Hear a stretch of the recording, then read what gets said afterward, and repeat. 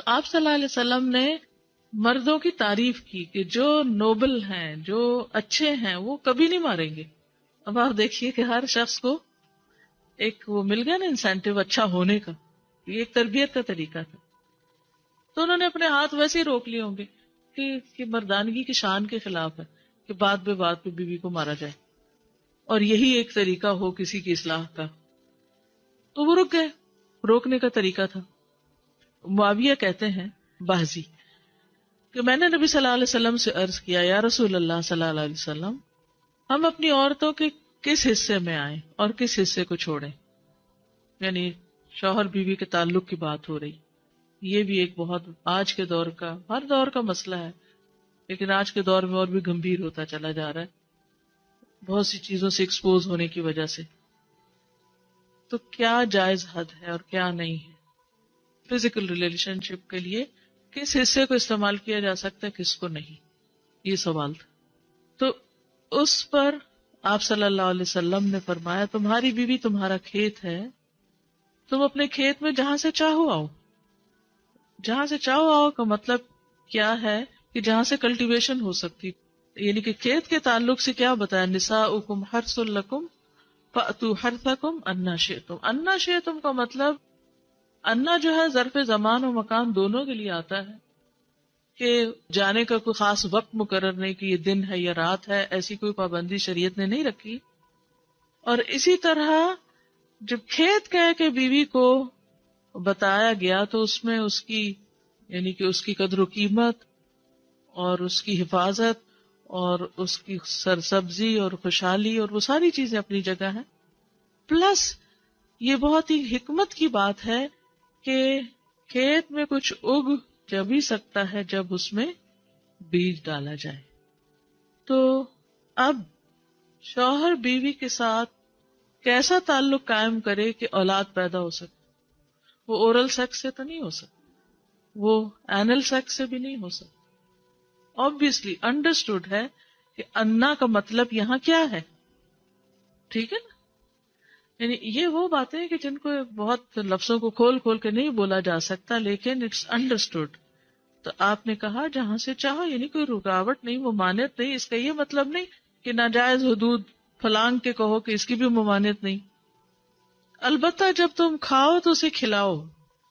यानी कि शौहर खुद आउटिंग, डाइनिंग के लिए चला जाए और बीवी को कहे कि बस घर में ही पका लो, अपने लिए और खा लो। खुद सिर्फ़ दोस्तों के साथ रहे। दिस इज़ नॉट राइट बीवी को भी लेके जाए। हुँ? हम्म? और सास भी बहू को जाने दे। जब तुम खाओ तो उसे भी खिलाओ। जब पहनो तो उसे भी पहनाओ का मतलब ये है कि ईद आई है अपने लिए सूट ले रहे हो तो बीवी को भी कुछ लेके दो। ये है इक्वालिटी एक तरह से। उसके चेहरे पे ना मारो। उसे गालियाँ मत दो। अब्यूज नहीं कर सकते। और उसे कतः ताल्लुकी अगर करो, यानी वैसे तो ना करो, लेकिन अगर करो तो घर की हद तक रखो। किक आउट नहीं करो उसको। घर से बाहर नहीं फेंको। घर से नहीं निकालो। क्योंकि बादशाह कहते हैं ना, फ़ोन पे कह देते हैं, घर चली जाओ माँ बाप के, मैं तब घर में दाखिल होंगे आऊँगा ही नहीं। ये गलत है। ऐसे नहीं करना चाहिए। और ये कैसे मुनासिब? ये कैसे हो सकता है कि तुम उसके साथ ये सुलूक करो, जबकि तुम एक दूसरे के पास हलाल तरीके से आते हो? यानी तुम्हारा एक जायज़ ताल्लुक है और फिर तुम उस ताल्लुक को इस तरह खराब करो। तो बीवी को मारने से मुतलिक जो कुरान और हदीस की रोशनी में जो हुक्म है वो सामने। फिर इसी तरह गुलाम को मारने की ममानत है। नौकर को, गुलाम को, उसको भी नहीं मारना चाहिए। अबू मसूद बदरी से रिवायत है कि मैं अपने गुलाम को कोड़े के साथ मार रहा था। कि मैंने अपने पीछे से आवाज़ सुनी अबू मसूद, जान लो। और मैं गुस्से की वजह से आवाज़ समझ ना सका, यानी ऐसे मार रहा था कि मुझे नहीं समझ आई कि किसने पुकारा मुझे। जब वो मेरे करीब हुए तो वो रसूल सल्लल्लाहु अलैहि वसल्लम थे। और आप फरमा रहे थे, जान लो अबू मसूद, जान लो अबू मसूद। कहते हैं, मैंने अपने हाथ से कोड़ा फेंक दिया। तो आपने फरमाया, जान लो अबू मसूद। यानी आप बार बार फरमा रहे थे। अल्लाह तुम पर ज़्यादा कुदरत रखता है। तुम्हारी इस गुलाम पर कुदरत से, यानी जितना तुम इस गुलाम पे कुदरत रखते हो, अल्लाह इससे ज़्यादा तुम पे कुदरत रखता है, यानी तुम्हें मारेगा। कहते हैं कि मैंने अर्ज़ किया अल्लाह के रसूल सल्लल्लाहु अलैहि वसल्लम, मैं इसके बाद कभी गुलाम को नहीं मारूँगा। और बाद रिवायत में आता है कि उन्होंने आज़ाद कर दिया। अबू उमर जाजान से रिवायत है, कहते हैं कि हम लोग इब्ने उमर के पास थे। उन्होंने अपने गुलाम को बुलाया जिसे उन्होंने मारा था। उन्होंने उसकी पीठ खोल कर देखी। कहा, क्या तुम्हें तकलीफ़ हो रही है? उसने कहा, नहीं। इसके बाद इब्ने उमर ने गुलाम को आज़ाद कर दिया और एक तिनका ज़मीन से उठाया और कहा कि मुझे इसका इतना भी अजर नहीं मिलेगा जितना इस तिनके का वज़न है। मैंने कहा, अबू अब्दुलरहमान आप ऐसे क्यों कह रहे हैं? उन्होंने कहा कि मैंने अलैहि वसल्लम को फरमाते हुए सुना, जो शख्स अपने गुलाम को बेकसूर यानी हद शरई के अलावा मारे, या उसके चेहरे पे तमांचा मारे तो उसका कफारा ही उसे आज़ाद कर दी। कफारा है, इस आज़ादी का सवाब कोई नहीं तिंग के बराबर भी। यानी बाजू का तुम सहते हैं बड़ी नेकी की, लेकिन उसमें तो छूट भी जाए तो वो भी बहुत बड़ी बात है। साहब कराम जो थे, वो खास तौर पर इससे मोहतात रहते और गुलामों से दरगुजर करते थे। अबू लैला कहते हैं कि सलमान रज़ी अल्लाह अनहु निकले, वो अपनी सवारी को चारा खिलाते थे तो वो हौदे से गिरता रहता। हौदा क्या कहते हैं? वो चीज़ महमिल बास्केट कह लें जिसमें उसका चारा रख के दिया जाता।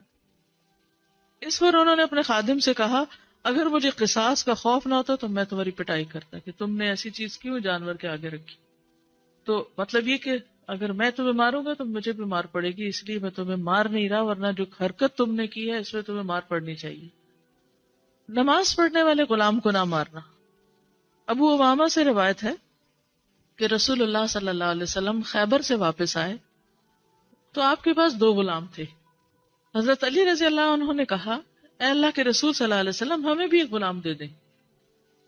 आपने फरमाया, जो चाहते हो ले लो। उन्होंने कहा, आप मेरे लिए पसंद करें। इससे अंदाज होता है ना कि रिलेशनशिप दामाद और ससुर का कैसा था। आप सल्लल्लाहु अलैहि वसल्लम ने फरमाया, ये ले लो। इसको मारना नहीं, क्योंकि मैंने खैबर से वापस आते हुए इसे नमाज़ पढ़ते देखा है और मुझे नमाजियों को मारने से मना किया गया है। आप सल्लल्लाहु अलैहि वसल्लम ने दूसरा गुलाम अबू जर को दे दिया और इसके साथ खैर भलाई और हुस्न सलूक करने का हुक्म दिया। फिर एक दिन पूछा, अबू जर, मैंने जो तुम्हें गुलाम दिया था, उसका क्या हाल है? उन्होंने कहा, आपने मुझे उसके साथ खैर भलाई करने का हुक्म दिया था तो मैंने उसे आज़ाद कर दिया।